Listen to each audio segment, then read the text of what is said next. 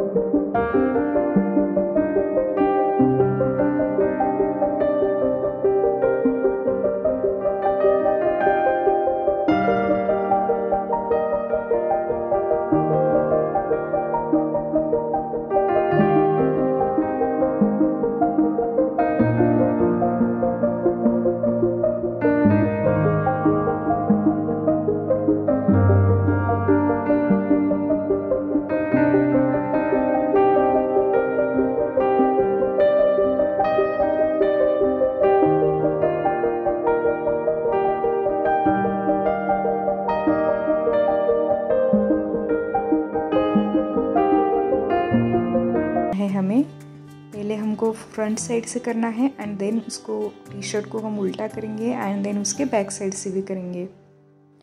And ironing की वजह से क्या होता है ना अक्रीलिक कलर पूरे फैब्रिक में अच्छे से फिट हो जाते हैं। उसके बाद आप ये टी शर्ट धोओगे भी, कितनी बार भी धोओगे, फिर भी उसका कलर फेड नहीं होगा। एंड यहाँ पे मैंने कुछ क्लोजअप व्यूज़ दिखाए हैं।